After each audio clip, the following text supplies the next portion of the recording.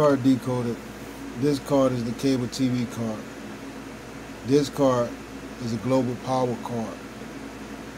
This card controls all TV, all media, corporate media. This card shows control and recorded channels over media platforms. This card has been decoded.